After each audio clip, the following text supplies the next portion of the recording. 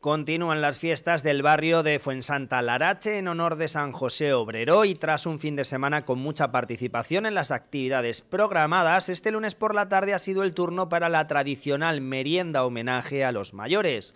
Esta es otra de las iniciativas que se han recuperado después de cuatro años sin poder celebrarla a causa de la pandemia y de los daños ya subsanados en el techo del centro social. Aquí no se queda nadie, como digo yo siempre, sin, hacerle un pequeño homenaje.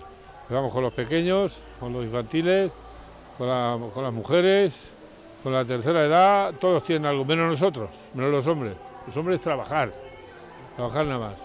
Pero aquí tiene todo el mundo su día dedicado. Pues esta tarde va a cantar Joana, una chica de aquí del barrio, que aquí en el barrio, va, a cantar mientras meriendan los mayores.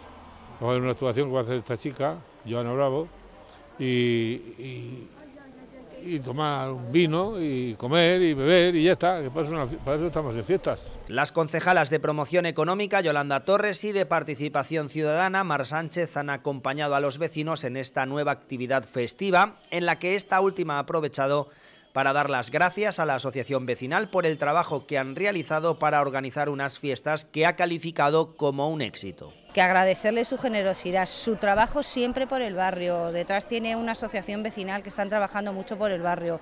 Cuando ya hemos eh, vuelto a abrir este, se ha podido abrir y disponer del centro vecinal, absoluta colaboración con el ayuntamiento. Encantado de que le traigamos, pues hay grupos de teatro, hay grupos de swing, se le está dando dinamizando el espacio y en constante colaboración con, con don Valentín. Y yo encantada de que esté en estas fiestas él, que haya querido seguir, haber dado ese paso hacia adelante y ha preparado estas fiestas que están siendo además un auténtico éxito. Las fiestas continúan este martes con actividades infantiles, concursos para todos los públicos, baile con la actuación de Carmen Carrillo y una gran chocolatada.